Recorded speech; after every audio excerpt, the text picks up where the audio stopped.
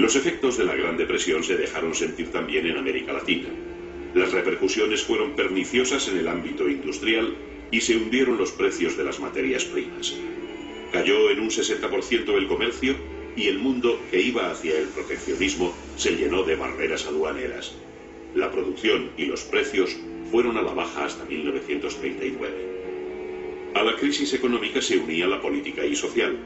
En Cuba, donde Fulgencio Batista se convirtió en el hombre fuerte, las revueltas estudiantiles de 1934 evidenciaron un estado de cosas común a muchas repúblicas iberoamericanas, descontento y corrupción política.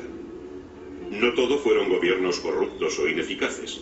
En México, Lázaro Cárdenas integró en 1934 a la izquierda en el Partido Revolucionario.